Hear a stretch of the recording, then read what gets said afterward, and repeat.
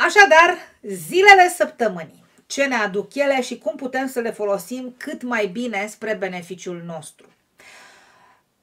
Prima zi a săptămânii, ok, în unele culturi duminica este prima zi a săptămânii, dar în cultura noastră lunea este uh, prima zi a săptămânii. Lun, ziua de luni este guvernată de către lună, luminariu lună.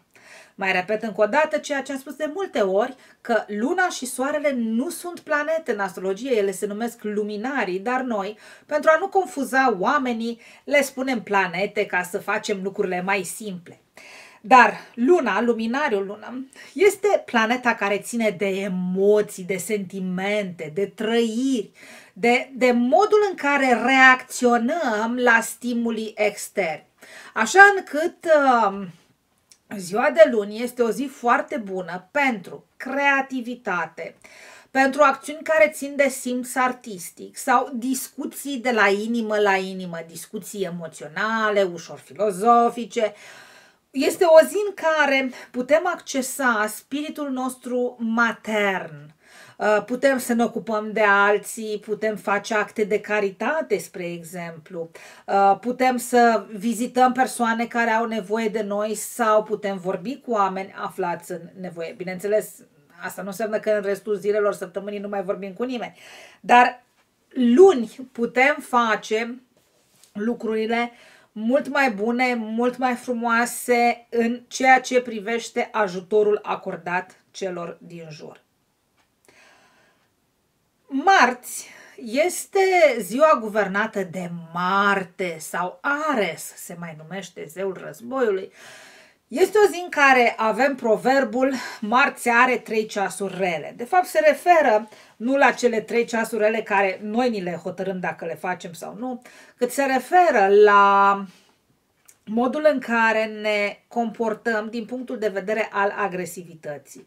Marte e zeul războiului, al conflictului, al asertivității, al dominării, dar în același timp este și zeul și planeta în astrologie care se ocupă de acțiuni, de energia fizică, de acțiunile fizice concrete în viața de zi cu zi.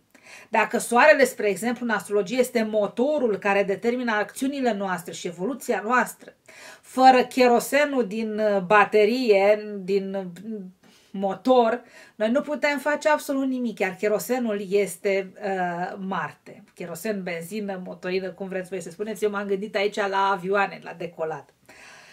Așa încât marțea este o zi foarte, foarte bună pentru a face uh, lucruri ce țin de activitatea fizică, cumpărături, curățenie, bătut covoare dacă mai există oameni care în ziua de azi își bat covoarele pentru că acum aspiratoarele sunt atât de performante.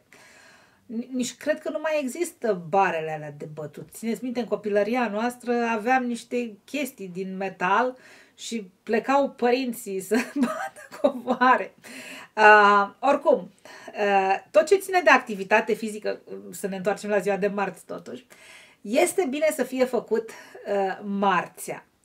Atenție, marțea vine cu provocare, totuși este sub domeniul zeului războiului. Și atunci trebuie să fim foarte atenți și foarte prudenți la modul în care vorbim și la maniera în care ne comportăm pentru a nu supăr, supăra oamenii, pentru a nu-i face să sufere, pentru a nu-i pune în poziții de dificultate în raport cu noi și în raport cu cei din jurul lor. Deci e o zi în care e bine să exersăm diplomația, dar în același timp este o zi în care putem să luptăm pentru oameni să le fie bine. Uite, este o zi foarte bună pentru cei care sunt sindicaliști, cei care apără, sau ar trebui, că eu nu prea știu cum fac sindicaliștii, uh, uh, ar trebui să apere interesele anumitor grupuri de muncitori sau angajați. Marțea e o zi bună pentru aceștia să-și facă misiunea personală. Miercuri. Miercurea este ziua în care suntem sub guvernarea și dominația planetei Mercur și a, și a zeului Mercur sau Hermes, comunicatorul. Comunicatorul uh, original, uh, cel care exprimă nevoile noastre și convinge pe cei din jur să ne susțină. Miercurea este o zi bună pentru negocieri, pentru semnarea unor contracte, pentru luarea unor decizii legate de carieră, legate de activități ce țin de comunicare sau legate de afaceri. Vă rog însă să fiți foarte atenți pentru că Miercurea este sub guvernarea lui Mercur, dar de 3 sau 4 ori pe an, Mercur retrogradează. Spre exemplu, această filmare, chiar dacă ai să o asculți ulterior, uh, este filmată pe momentul lui Mercur retrograd în 2019, luna iulie este în retrogradare Mercur și atunci tu trebuie să fii atent când vei asculta această filmare, uh, să reții faptul că miercurea e bună pentru semnat contracte, pentru comunicare, pentru luat decizii importante legate de afaceri și comunicare, dar verifică dacă nu ești pe o perioadă de retrogradare mercuriană, pentru că atunci când Mercur este retrograd, nu sunt avantajate inițiativele, începuturile și nici negocierile. În schimb, toate activitățile care încep cu prefixul re sunt bine susținute. Reinventare, reorganizare, uh, remodelare uh, și etc. etc. Deci putem găsi o mulțime de cuvinte cu prefixul re. Deci miercurea ține de comunicare, negociere, semnarea contractelor, discuții. Dar atenție, dacă marțea este o zi bună pentru discuții asertive care luptă pentru o cauză, Miercurea este ziua în care tu poți să fii subtil, un pic egoist, poți să negociezi uh, lucrurile importante pentru tine, care fac sens și care te susțin mult în viața de zi cu zi. Joi. Joia este ziua aflată sub guvernarea uh, planetei Jupiter, marele benefic. Jupiter este uh, zeul care stăpânește Olimpul. Este o zi foarte bună și plăcută, dar atenție, are și minusuri și plusuri pentru că în astrologie nu există totul pe plus sau totul pe minus. Deci, uh, Jupiter ne place cum sună, marele benefic, joia. E, yeah, asta înseamnă că uh, Putem învăța, putem studia, putem să ne înscriem la cursuri, putem să ne înscriem la facultăți, putem să ne înscriem la sisteme care ne ajută să, ne, să învățăm lucruri noi și să, și să ne îmbunătățim prestația. Ce înseamnă asta? Poate îți place ceva și în viață vrei să faci un anumit curs. Cursul începe într-o zi de sâmbătă sau într-o zi de duminică. De regulă cursurile se cam fac în weekend. Uh, și tu nu știi, pe, eu vreau joi, nu vreau. Nu. Joia mă refer la a te înscrie. Ziua în care tu plătești banii pentru cursul respectiv sau în care dai telefon și spui, da, mă interesează, vreau să vin la voi, uh, joia fă acest lucru, nu în altă zi a săptămânii, dacă vrei să încep cu dreptul în acțiunea de a învăța ceva. Apoi, este o zi bună fie pentru călătorii, fie să-ți cumperi bilete de vacanță, de călătorie, de avion. Eu întotdeauna cumpăr joia întotdeauna îmi cumpăr de fapt joia noaptea pentru că uh, nu știu dacă știți, dar în cursul săptămânii, mai ales marți, miercuri și joi, puteți găsi dacă faceți Google search pe uh, net bilete de avion sau de, nu știu, dar eu mă uit după bilete de avion întotdeauna, uh, mult mai ieftine decât în weekend, pentru că în weekend oamenii sunt acasă și cumpără compulsiv, în timp ce în cursul săptămânii motoarele de căutare observă o scădere a interesului, mai ales dacă te duci noaptea pe la 1-2 să cauți biletul de avion și atunci automat scad și ei prețurile ca să te stimuleze să cumperi. Și uh, joia este o zi bună, așa cum spuneam, pentru achiziția de bilete de călătorie, pentru a pleca într-o călătorie sau a stabili data vacanței. Mai este o zi în care, pe partea cu minus, trebuie să avem grijă la excese, pentru că s-ar putea să mâncăm compulsiv, să bem compulsiv sau să facem acțiuni compulsive, fără să le gândim, pentru că Jupiter scăpat de sub control întotdeauna este cu prea mult, cu excesul, nu cu minusul, mă abțin, mă constrâng, mă strâng în mine, ci nu fac excese până la locomanda. Vineri, guvernată de Venus, planeta banilor și a frumosului, o zi foarte frumoasă și interesantă. Este o zi în care putem face lucruri ce țin de înfățișarea noastră. Toată lumea se înghesuie să țină regimuri de luni. Da, de luni, toate, deci în weekend mâncăm ca disperați, dar de luni noi începem, pe naiba și pe urmă marți te și lăsat. Uh, sau de luni facem lucruri. Nu. Păi, luna e cea mai proastă zi pentru că e o zi uh, emo- a emoțiilor. Normal că tu în ziua emoțiilor, dacă vrei să începi o, o acțiune care te-ar restrânge, te-ar detoxifia, te-ar, ți-ar limita anumite obișnuințe, automat tu vei capota foarte repede pentru că va interveni frustrarea.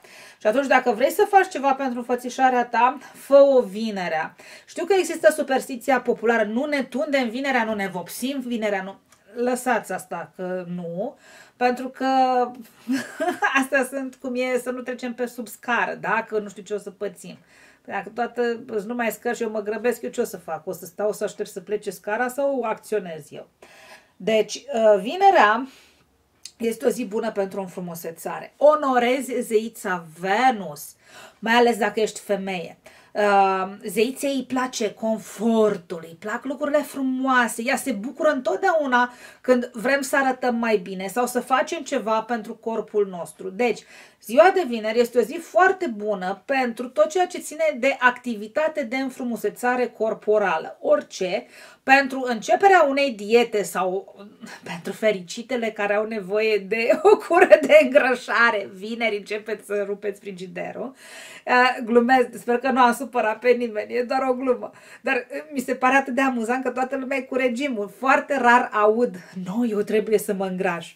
Și am înțeles că oamenii foarte slabi chiar au probleme, dureri de spate, nu știu, o să-mi povestească cei foarte slabi, spuneți-mi, scrieți-ne, că suntem și noi curioși ăștia dolofani, cum sunteți voi.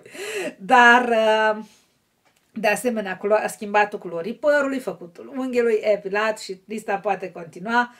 Valabil și pentru domni acest lucru, dar mai mult pentru doamne vorbesc pentru ziua de vineri. Apoi este o zi bună pentru întâlniri cu prietenii, este o zi bună pentru socializare, este o zi bună să-ți cumperi lucruri frumoase pentru tine și pentru casa ta și este o zi bună să alegi daruri dacă vrei să dai un dar și un cadou din inimă celor din jur. Sâmbătă Sâmbătă este ziua guvernată de Saturn, planeta încăpățânării și a limitării. Este planeta care ne creează blocaje ca să învățăm să le depășim, așa încât sâmbăta este ziua în care uh, putem să fim sârguincioși, putem să facem curățenie în casă, putem face curățenie în viețile noastre. Dacă vrei, de exemplu, să ieși dintr-o relație proastă, nu ne mai amenința că vrei să pleci, ci pleacă sâmbăta. Pentru că atunci Saturn ar putea să îi se facă milă, lui Saturn s-ar putea să îi se facă milă de tine și să îți dea încăpățânare și perseverență și rezistență la, să, să, nu, să nu cedești, să te întorci înapoi în aceeași situație. Deci uh, este foarte, foarte important ca sâmbăta să te ocupi de casă, de ordine, de disciplină, să finalizezi lucrări pe care nu ai apucat să le finalizezi în timpul săptămânii, și de regulă, sâmbătă ocupă-te de activități care au un program fix. Mă scol la ora cu tare, mă fac nu știu ce la ora cu tare. Uh, și știu că asta nu-i foarte plăcut, dar acum nu începeți tot să faceți. Eu sunt un om foarte matinal și atunci n-am o problemă să mă trezesc dimineața. Dar să știți că lui Saturn îi place tare mult să te scoli dimineața pentru că el este o planetă serioasă, el este tatăl timp. Și am să vă spun un secret, dacă îl îmblânziți pe Saturn, îl împrieteniți, vă faceți prieteni cu el, o să vedeți că uh, veți câștiga timp în alte activități.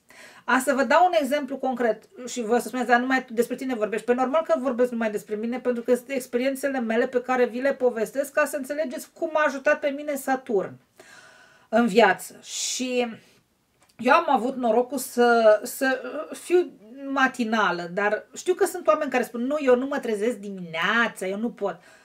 Nu, nu vrei să te trezești dimineața, pentru că nu există nu pot. Organismul ăsta este un ceas extraordinar și este o, o adevărată uzină perfectă.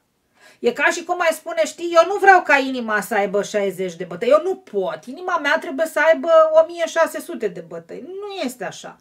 Deci totul în noi este matematic și milimetric calculat. Cum pot să cred eu că nu poți să te scoli tu și nu poți să fii eficient în dimineața?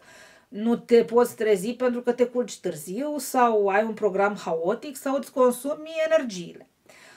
Nu fac morală și nu critic pe nimeni și nu jignesc, dar e numai între noi. E între mine și tine, tu cel care asculți. Nu ne aude nimeni altcineva, e ce ca între prieteni. Și uh, am observat, trăind în Islanda, că alunec foarte ușor iarna, când e întuneric mult, uh, înspre a dormi foarte mult în cursul zilei. Deci dormeam, oameni buni, eu mă culcam la 3 noaptea și mă sculam la 1 la prânz. Și am înțeles ce înseamnă când spune un om, eu nu sunt matinal, pentru că mi-am dat seama că e de fapt dereglat ceasul bioritmului. Și atunci am apelat la Saturn să fac ordine. Și știți cum am făcut ordine în bioritmul meu? Am pus pe o hârtie, asta îi face lui Saturn plăcere, toate activitățile pe care le făceam peste zi, din oră în oră, dar efectiv din oră în oră, chiar dacă, de exemplu, nu știu, trebuia să fac ceva care dura 2-3 ore. Eu am făcut din oră în oră uh, program și l-am respectat cu sfințenie. Deci l-am respectat, știți cum, la milimetru, la milimetru. A fost greu uh, vreme de 9 zile cât ține un marcaj saturnian. În a 10-a zi n-am mai avut absolut nicio problemă și din acel moment m-am trezit din nou la ora la care eram obișnuită și o fac și în ziua de astăzi. Uh, deci, uh, și acum vă spun și bonusul pe care mi l-a dat Saturn în momentul în care m-am cumințit din punct de vedere al bioritmului și am început să-mi fac treaba, iar sâmbătă am dedicat-o întotdeauna curățeniei sau lucrurilor importante care țin de seriozitate, dedicare, uh, implicare în chestiuni foarte uh, importante, serioase, care necesită maturitate. Uh, și uh, am să vă spun cum am asistat realmente la a transforma imposibilul într-un lucru posibil. Veneam odată din spre România și zburam cu o anumită companie nemțească uh, și a avut întârziere fiind sezon de vară. Deci eu plecam în București, München, escală la München o oră jumate, după aia München, Reykjavik, uh, trei ore de zbor. Și avionul plecând din România cu întârziere, să spunem, să ne imaginăm că avionul trebuia să aterizeze la uh, nu știu, la ora 7 seara și eu la 8 jumătate trebuia să mă îmbarc în următorul zbor. Timp berechet, să cauți poarta, să te, um, să te plimbi prin aeroport, ba, poate chiar câștigam niște timp de cumpărături. Uh, însă, avionul plecând cu 40 de minute întârziere, oricât ar fi încercat avionul și piloții să recupereze timpul pierdut, nu a avut cum.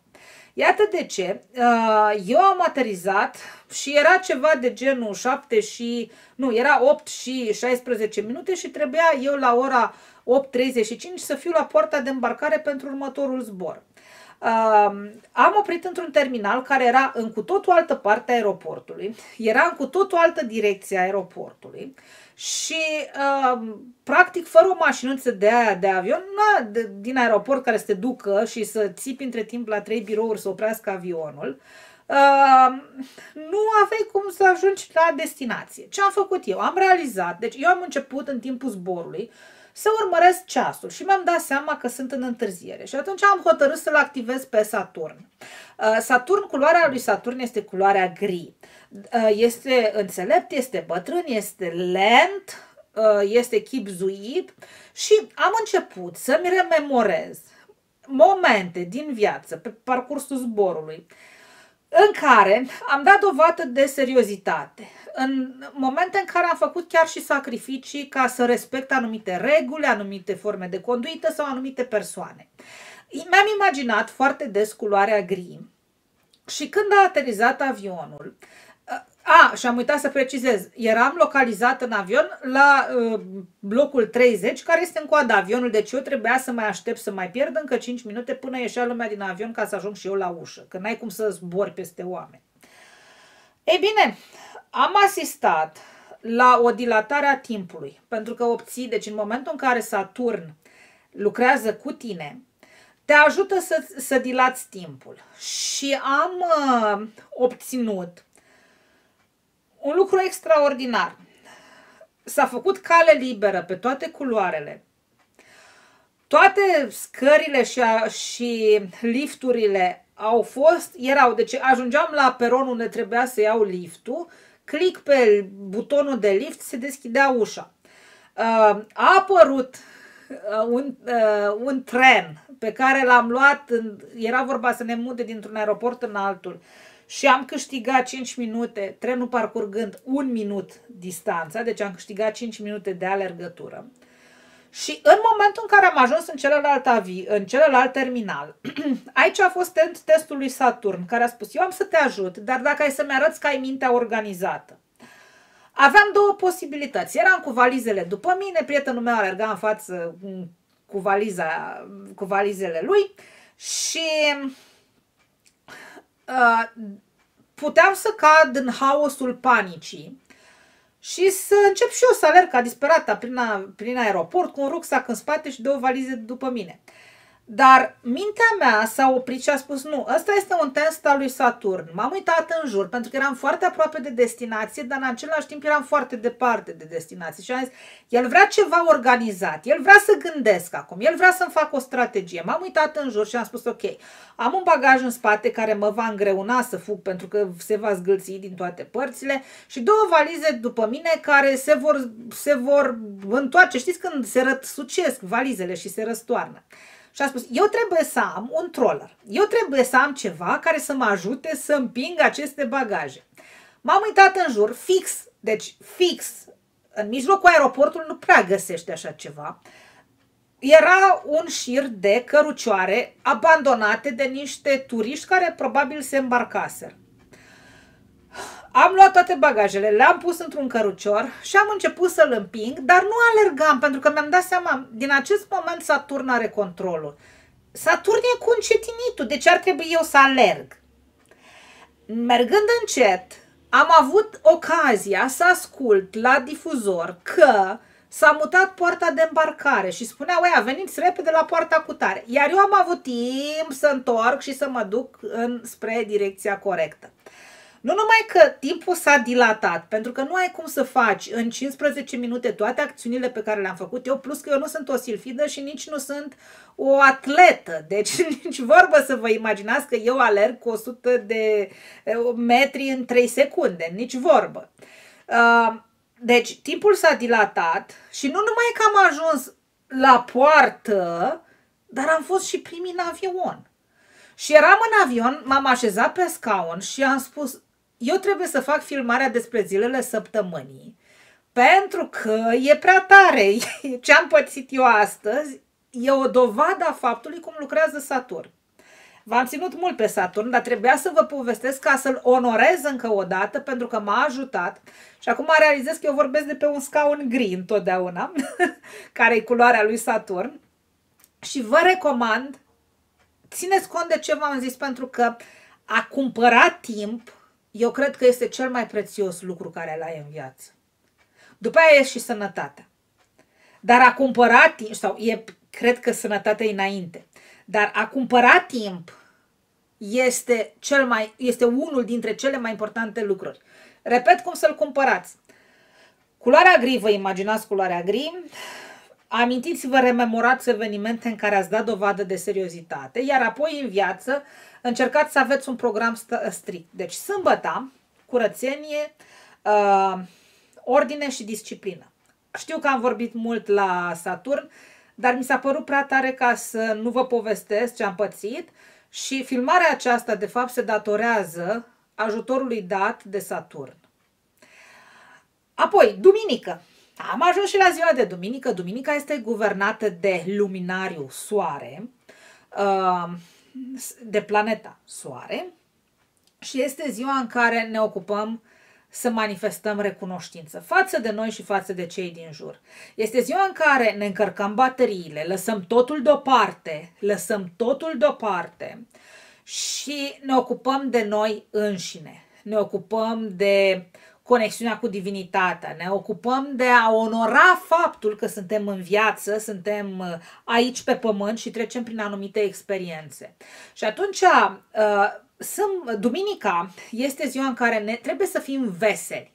Știți, când începea săptămâna, uh, zi, prima zi a săptămânii era sâmbătă, de fapt, e, era sâmbătă, era duminica, deci când înce- prima zi a săptămânii era duminica, uh, noi de fapt, inconștient, onoram bucuria vieții și bucuria de a te afla pe pământ.